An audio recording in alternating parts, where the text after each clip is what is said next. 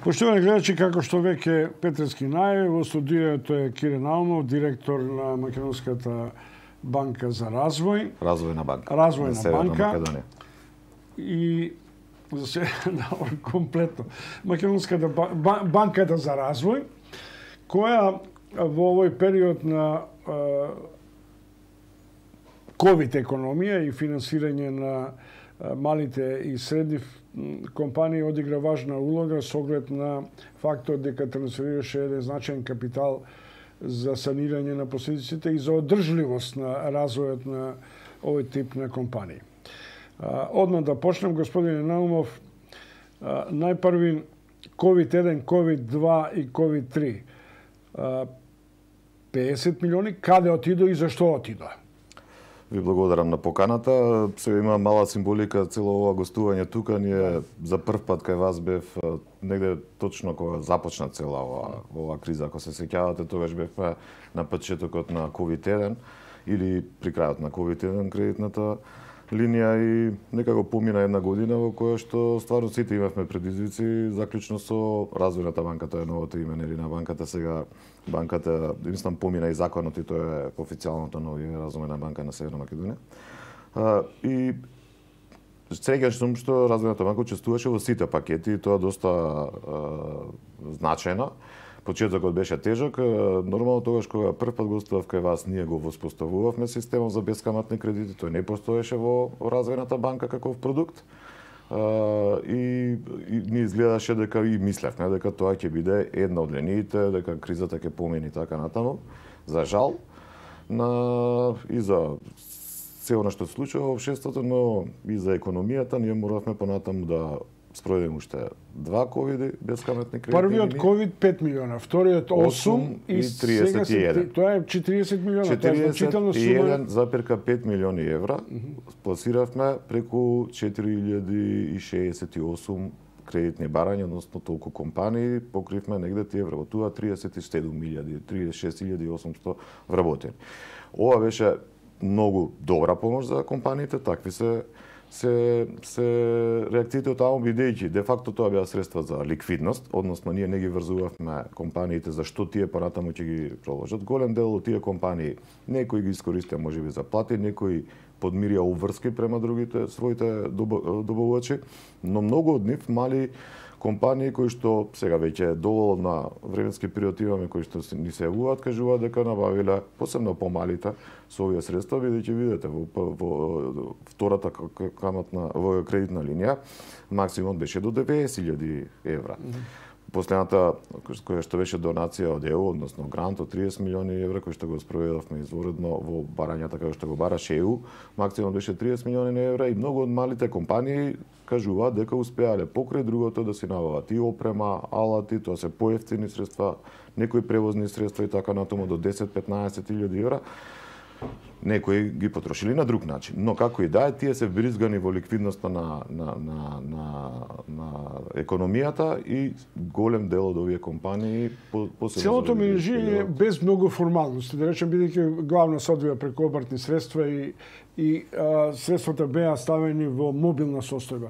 А, таму имаше еден период грейс и тие треба да се вратат во рок од две години. Сега практично ќе се би можеле да салдираме кои кога ќе почне да ги враќаат и дали е тоа слика дека инфузијата е позитивна. Така значи, е. Значи, видите, мали беа разликите меѓу во условите кај сите три линии.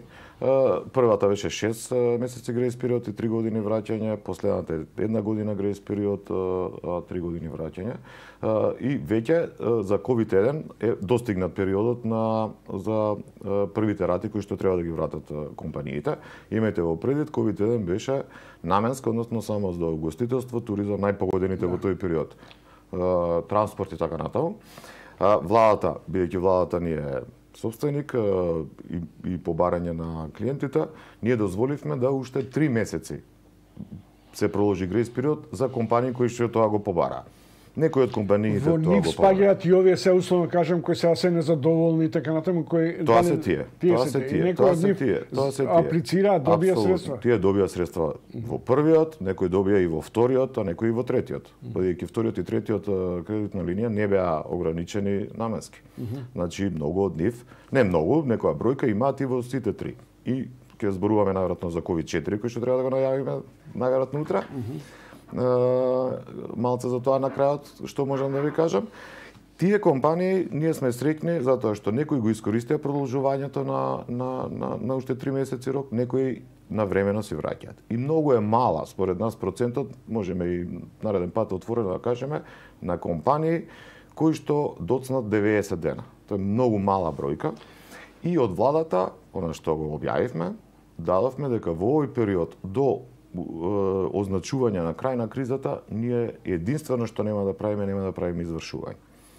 Затоа што ние имаме сите кредити се дадени со меница, со извршна клаузула и доколку таа активирате, тоа е апел и до сите е, кои што имаат кредит во развојната банка, бидејќи ние сме мала средина, слушам руморс или како се вика е, веќе муабети, дека некој мисли дека може на овој или на оној начин да овој долг му биде опростен. Јас од овде одговорно тврдам дека да, сега постои таков мораториум на извршување, но кога владата ќе го даде сигнал, сите мора да ги вратат средствата. Срекни сме што до оценењата се кај малце компании.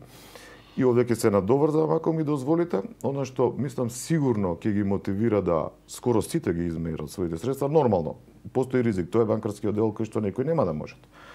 Но во COVID-4, каде што најверојатно ќе биде наменет повторно во најголем дел 10 милиони ќе изнесува тој, ќе старта релативно брзо во наредните неколку недели. ќе бидат офатени овие компании, ние инсистираме, но владата е таа што ќе одлучи како како наш собствени газда, ние инсистираме еден од условите дека нема да може да добие кредит компанија која што доцни повеќе денови за некој по, од основно Тоа се однесува за вас, меѓутоа со таква портфолио кај што задолжствено дека една банка тие нема да бидат бонитетни кај деловните банки а, во наредниот период. Тоа за- е така апсолутно, кредитниот апсолутно. регистар. апсолутно. А, ајде COVID-4 додека сме тука да ги изредуваме или да ги притаиме надежите. А, нема што да ги притаиме. Значи, јас за COVID-4 можам да кажам она што поединостите ќе бидат денеска е комисија за економски систем и утре е влада. И многу ситни работи кои што уште ни се Пак се остануваат парите од ЕЦ, ЕЦБ, од или Не, не, ова се буџетски средства. Буџетски Како средства. COVID 1 и 2. Добро. Ова се буџетски средства. Третата линија 31 милион, односно 30 милиони беа од ЕУ грант Грантот, и да. тие остануваат кај нас, односно во државата, грант за успехот на на Република Северна Македонија на патот кон ЕУ. Тие остануваат тука. Ова се буџетски средства планирани во Со буџетот. нив ќе менаџирате од кога ги вратите вие. Повторно можете да правите револвинг на пример. Во, да, Европската унија го следи процесот, значи таа беше тој беше условен, ние имавме услов до 31 јанари да да да обработиме 2000 кредитни барања, тој за да дојдат 30% од тие 30 милиони. Mm -hmm. Тоа беше услов, они го следаа процесот, ние ги исплатија сите 30, ние ги испласиравме сите 31 милион. Понатаму, понатаму сега Европската унија уште она што го следи бидејќи има грант компонента во него, е, ние известуваме Ве прекинав, кога многу е поважно да чујат што е И COVID-4. тие остануваат кај нас. Тие ќе останат кај нас. Е, Развојната банка, владата понатаму ќе одлучи. Во ковид е, значи 4 во поистиот е, принцип како и претходните, отприлика условите ќе бидат исти со тоа што ќе бидат е, средствата, она што можам сега да го кажам, може да има мали измени, минимум 3000 евра, максимум 30.000 евра по кредитобарател. А, и она што понатаму е важно за сите компании, ќе има грант компонента. За разлика како што беше во COVID-3, таа е доста важна и сега одиме во онаа фаза што владата кажува ајде да одиме сега да пробаме малце да одиме во опоравување, односно Што е суштина, да, доста социјала туку и некаков економски развој. едноставно, да, едноставно тоа не може да оди до, до недоглед. Тие ќе бидат благопријатни пак, бескаматни кредити, со тоа што, за разлика од веќе се искусни бизнисмени кои се работуваат со нас, клиентите, за разлика од тоа што грант компонентата во COVID-3 беше дека тоа ќе биде грант од 30% доколку тоа ги постави условите Европската унија, доколку е собственик или управител жена, доколку е собственик над 57% или управител млад човек, по нивната дефиниција 29 години, и доколку 50% од приходот го направиле со со извоз. И евентуално малце субјективен дел на иновативни проекти. Затоа имам и најмалце барања за грант. Сега грантот во COVID-4 би бил следниот, односно грант компонентата би била доколку грант компонентата би била доколку компанијата на крајот од 2021 оствари позитивен финансиски резултат, значи добивка, и или вработи го зголеми бројот на вработените, тогаш грантот покрај што е кредит, на крај ќе те може да врата до да биде да изнесува од 30 до 50%. Односно, ако некоја компанија земала 10.000 евра, исполни, ќе има една година грейс период, кога ќе почне да ги враќа, кога ги исплати 50, односно 5000 евра, 5000 евра, ако исполни еден од условите профит или нови вработувања, тие ќе останат грант.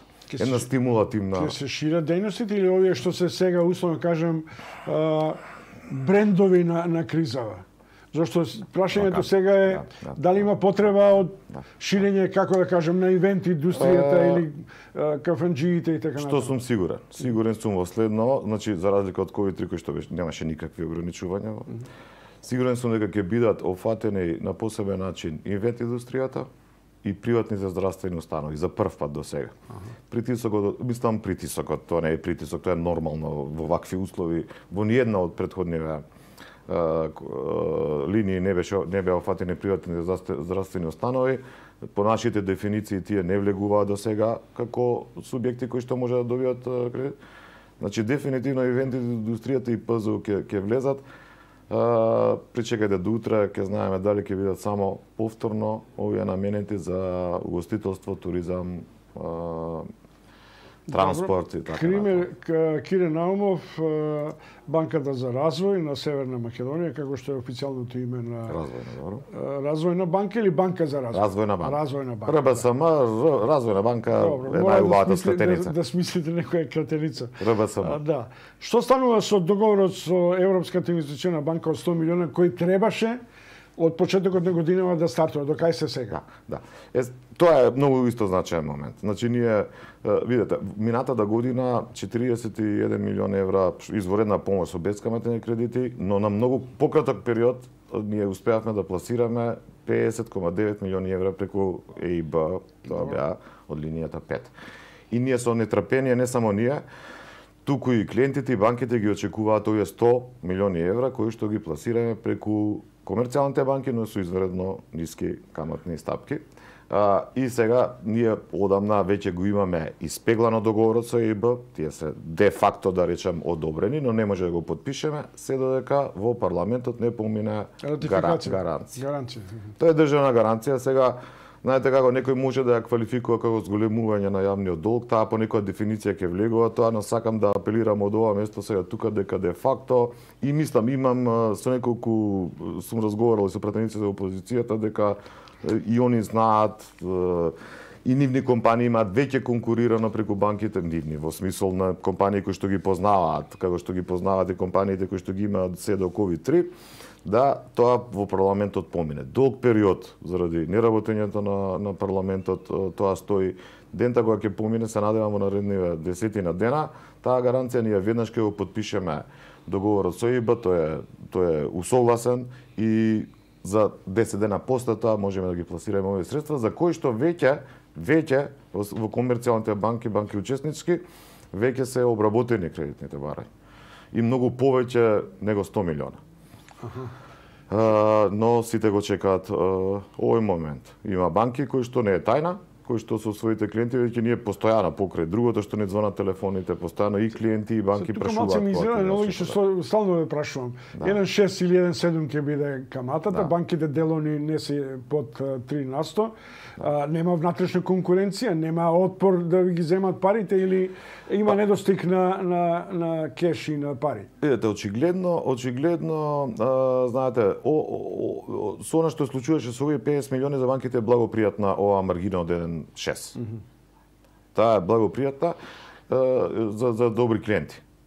И за добрите клиенти за жал или за среќа, нај, најголем дел од ова оди за добрите нивни клиенти се случуваше, се случуваше. За добрите клиенти они имаат и специјални е, каматни аранжмани Да, но сепак со 1.6 е, е, е, многу добра да. каматна каматна стапка и сега банките дури во еден период сега ние не можеме тука да пресудуваме. Банките си се ни се жалеа меѓу себе во оваа линија во големата кога кризата сега нема да се случува кога кризата буфна дека меѓусебно си ги зимаат клиентите нудејќи ги овие овие овие средства. Се, се е тоа во рамките на пазарната пазарната игра, но ние не можеме да влијаеме на тоа. Но сакам да ви кажам дека 1.6 е добра маргина во овој период за банките, иако тие се ликвидни, пливаат во ликвидност, но но доста доста добар е, е добра оваа линија, со тоа што исто така банките Знаете како, они си работат за профит, тие може после тоа на тој клиент да му продадат и други продукти или да дадат дел за други проекти од нивните средства, тука негде да се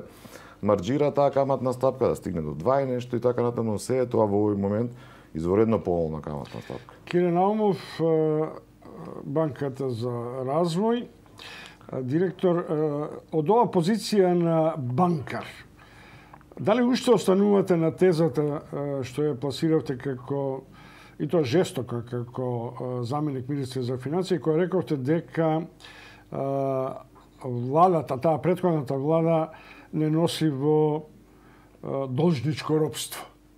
Дали да. мислите дека нивото на покачувањето на долгот во Македонија над 60 насто да. и веројатно ше не внесува веројатно во една сериозна спирала која треба да размислуваме и за редукција на на буџетските трошоци и на задолжувањата. Вака, јас нема нема бегање од тоа. Јас сум мил најжесток критичар на на тој период, на тој тренд на задолжување на минатата влада. И сега не треба да сте многу паметен Замислете, тогаш и ден денеска опозицијата ме обвинува за тоа што успе, успеав, успеавме, успеавме, тоа не беше моја работа само на СДСМ, то, тоа беше бев поставен. Тогашниот председател Заев помагаше во целото тој други економисти.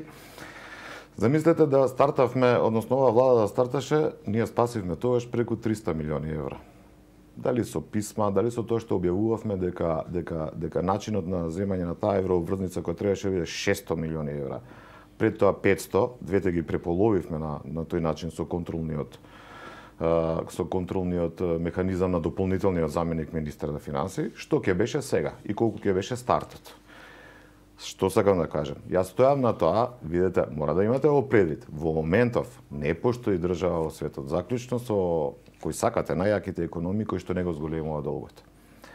Понатаму имајте во предвид дека сега задолжувањето изворедно ефтино Значи, овие каматни стапки нема да траат долго и сега е време, ако некој мисли, дури и повеќе да се задолжи, а да ги на некој начин ликвидира предходните предходните долгови, бидејќи рачунете дека до крајот на годината каматните стапки ќе ќе порастат. Како ќе се развива економијата? Ќе расте инфлацијата, ќе расте и каматните стапки. Тоа тоа се Ама ова не ги, нема да ги фати овие комитенти кои сега добија да речам условно вакви поволни камати. И државите кои што се задолжија со со со, со ефтино. И, и, па нормално. Mm -hmm. И ние има, земавме историски најнеска, таа историски најнеска бидејќи на пазарите е најнеска. Така. И, и сега е период во кој што државите се задолжуваат. Германија со минусна, ние со некоја многу ниска, но тоа е во ред. И мора да имате во предвид сите граници се поместени. Че видите вие еве во регионов Хрватска, која што пред кризата тропна на вратата на Европската монетарна унија, значи за да влезе во таа ги имаше исполнети условите, мора да имате во предвид дека веќе нигде не важат принципите 60% јавен долг и 3% дефицит за да влезете во, односно да бидете за ЕУ. Банкар од ваш тип тешко е, дава изјава од овој тип дека каматите ќе растат и нема да ја вознемири јавноста. Уште сте сигурни дека ова банкарско портфолио, каматно портфолио ќе остане вака и ќе или ќе има сепак пораст? Портфолиото како портфолио мислите или каматните, каматните стапки? стапки? Видете, тоа не е нешто од, што може да го лажете или да го кажувате од банкарска банкарски аспект или не банкарски аспект. Тоа се движења на светските пазари на капитал, да ги нарече. Тие ги диктираат каматните стапки на крај на денот и нормално еден еден дел е тоа што какви се перформанси на државата, на банката, на клиентот. И тука се така се билда каматната стапка. Секој ризик носи зголемување. Но Мора да имате во предвид дека дека видите што се случува во моментот тоа не може да остане така. Вие имате ограничување веќе во Германија и во некои други држави во кои што банките не примаат депозити на граѓани и на компании.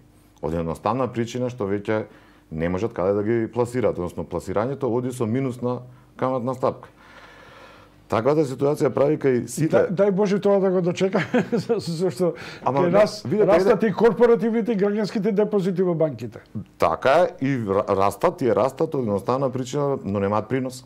Каматните да. стапки се изворедно ниски. Така. И ние ќе стигнеме, не дај Боже, до такво. Не дај Боже, не знам што е, што е добро или што е лошо. Видете што се случува. Кога имате минусна каматна стапка, сите инвеститори понатаму, тоа е тој магичен круг на, на, на доброто, некогаш кога мислиме дека е нешто добро. Сите инвеститори велат дека тоа се контаминирани средства, да. во смисол контаминирани ако некој ми ги дава, а за тоа не бара да ги купам, односно не бара да му платам, туку не само што ми ги дава, туку и велики ми плати да ги земам, тоа кај инвеститорите прави одложено одлука на инвестирање. И влегуваме во таква еден циклус во кој што иако се истураат пари со хеликоптер, не може да се случи. Па еве видете, нигде не се зголемува ниту потрошувачката, ниту инфлацијата, што по основи на дефиниции на пробаднете се сите економски, мала маргина сите економски теории на, на инфлацијата, Како? Сите економски теории, значи ние треба да ги запалиме грото од книгите по кои што сите сме учени, не тука само него, сегде во светот дека по, по ваков тип на монетарна политика мора да доведе до инфлација и зголемување на потребувачка, тоа не се случува. Добре. Дали парите одат на погрешно место, па тие богатите луѓе ги ставаат пак по депозит. Дали сите луѓе се откажуваат од потрошувачка, ние свет на светско нема постои проблем. Кире Наумов, банкар, прв човек на раз, развојната банка или банката за развој, како сакате. Во исчекување сме значи, на 100 милиона од Европската инвестициона банка, ако Собранието е усвои одлука. Да ви благодарам и за кои 4 ќе имаме уште варијанти кога ќе може да ги пласираме информациите. Предпоставувам денеска на комисија на економски систем ќе ги допрецизираме, утре ќе поминат на влада во текот на утрешниот ден веќе ќе ги знаеме. А, а конкурс кога? Односно веќе ќе ги знаеме. Видете, значи само ова. Постоеше и тоа ќе се случи. Постоеше една една една и така се решаваат работите во вла, рамки на владата. Постоеше една идеја дека за февруари и март да не постои субвенцијата за плати, туку да бидат само бескаматни кредити. Утврдивме дека тоа е тоа е проблематично, односно дека сепак е направи голем проблем и дека февруари и март сепак треба да има субвенции за плати. А, и се стоеше една дилема дали ќе биде или или, односно дали компаниите кои што искористиле субвенции за плати за овие месеци ќе ќе бидат eligible, односно ќе може да конкурираат и за бескаматни кредити. Мислам да. Добро, Но не може да тврдам, владата мора да одлучи. Добро, Ние сме агент на владата. Ако ако ќе ви се јавам и ќе го соопштам тоа како информација во наредната недела, да. после Великден. Да. Уште еднаш Кире, наома благодарам за гостувањето. Се надам дека добивте информации и за а, новиот пакет што се подготвува COVID-4 во висина од 10 милиони нова државна или владина интервенција за санирање на последиците од постковид економијата.